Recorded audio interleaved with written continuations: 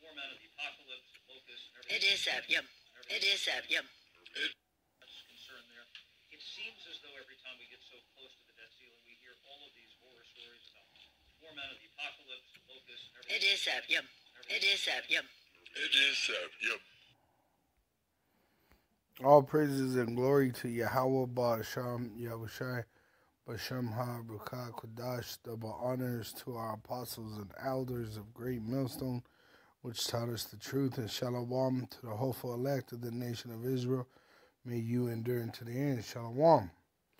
All right, so this is Pelosi, which she's the head of the state. I believe that's her position. No, actually, she's uh, Speaker of the House. Slovakia. She's the Speaker of the House, all right? And she said that it was the apocalypse. It is concerned there. It seems as though every time we get so close to the debt ceiling, we hear all of these horror stories about format of the apocalypse, locusts, and It everything. is that, yep. It is that, yep. It is that, yep. All right, so this is from the conversation. What does the Speaker of the House do? All right, it says second in line of presidential succession, so she's right under the vice president. After the vice president, the Speaker uh, occupies a central role in our national government. Most people think the speakership is a party office. It's not. The speaker is selected by the full House membership through the majority party's voting power ensures that the role is occupied by one of their own. First, I'm gonna jump down. First, they are the most visible and authoritative spokesperson for the majority party in the House. So she's the mouth that represents the majority of the House. All right. I'm gonna jump down to the second. Second, the Speaker manages business on the floor and navigates legislative rules, rules, structuring House debate in a way that will advantage their legislative priorities. Third, the Speaker oversees everything from accounting to procurement, for the House. All right, so the, she's a very important lady to the United States government, and she's a Roman Edomite. All right, at Pelosi. All right, Nancy Pelosi. Nancy means effeminate man, and Pelosi. I looked it up before. I know it goes back to Rome though.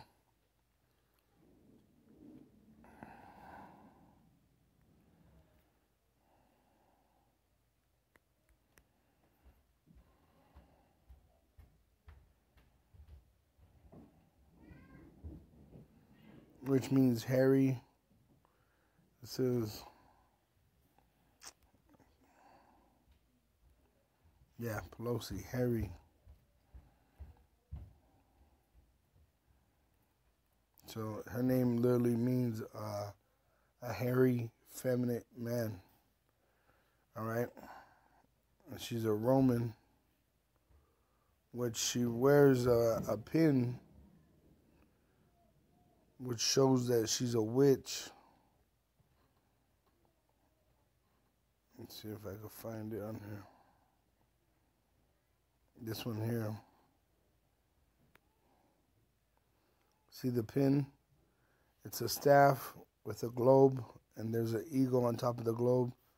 The wicked rule the world, and uh, the staff representing their leadership and witchcraft. All right. There's a better picture of it.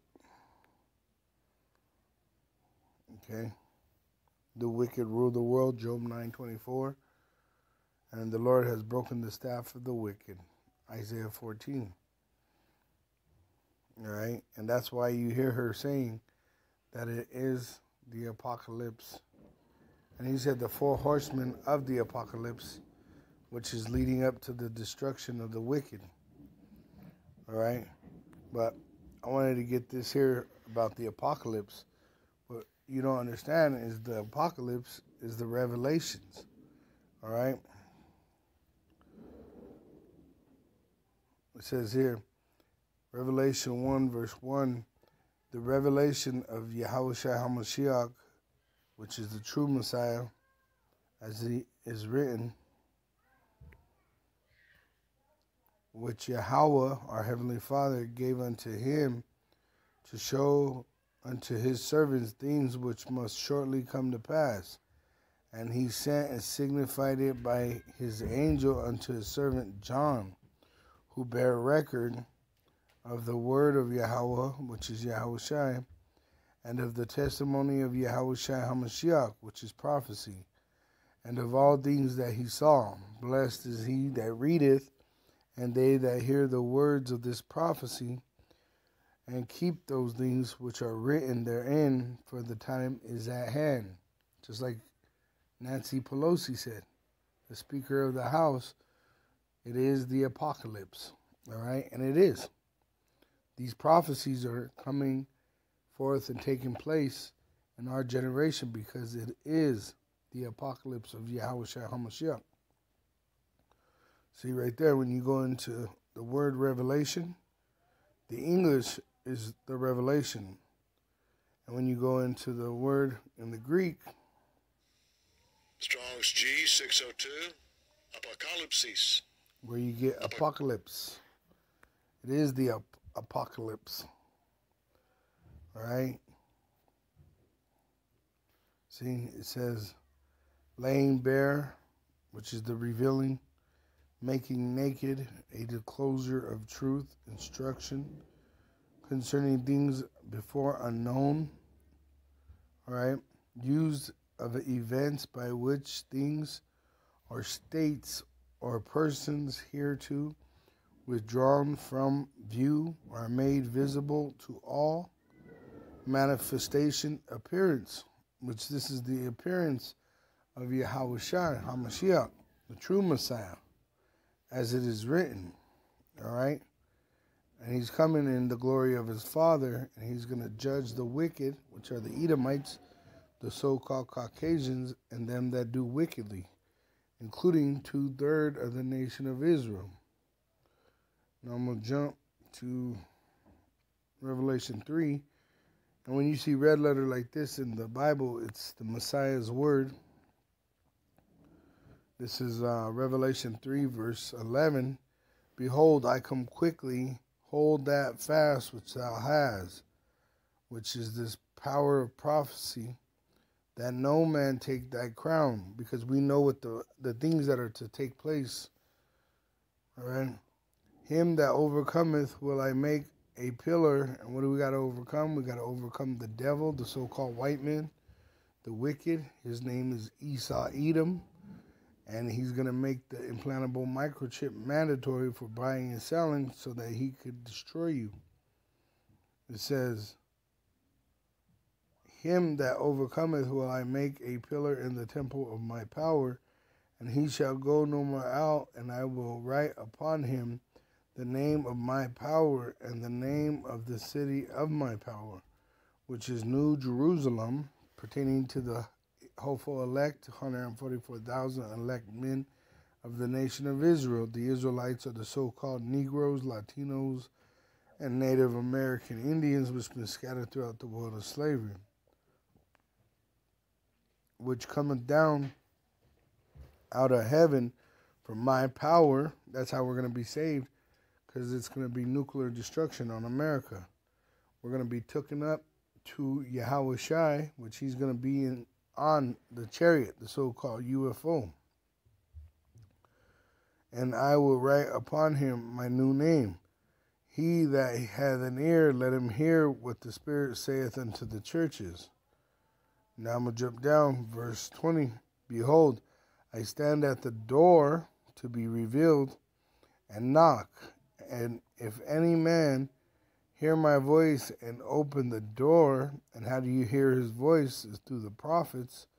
I will come in to him and will sup with him, and he with me. And this is why we give double honors to our apostles and elders. This is the way that we heard the voice of Yahweh, Basham, Yahushua. And we received him, and now he sups with us, and that's why we're prophesying. To him that overcometh will I grant to sit with me and my throne. The throne is the so called UFO. Even as I also overcame and am set down with my Father in his throne. That's why when Yahweh was crucified, died, and resurrected, it says that he was uh, uh, taken up into a cloud. The cloud isn't a puffy white cloud which rain falls from. It was a chariot, a so called UFO. He that hath an ear, let him hear what the Spirit saith unto the churches.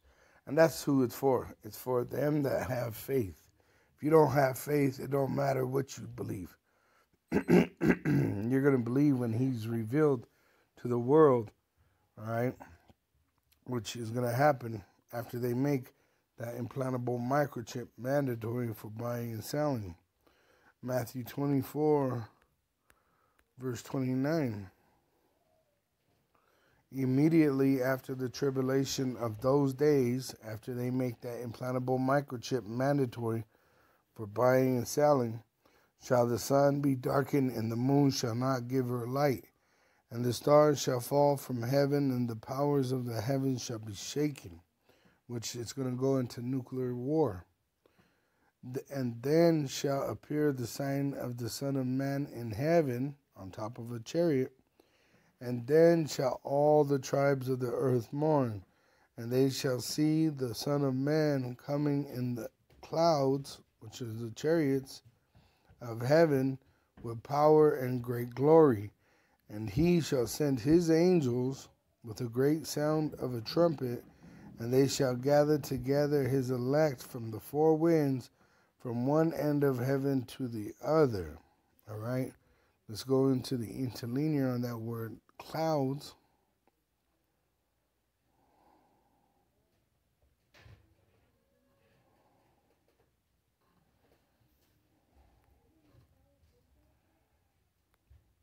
See, it says, used of the cloud which led the Israelites in the wilderness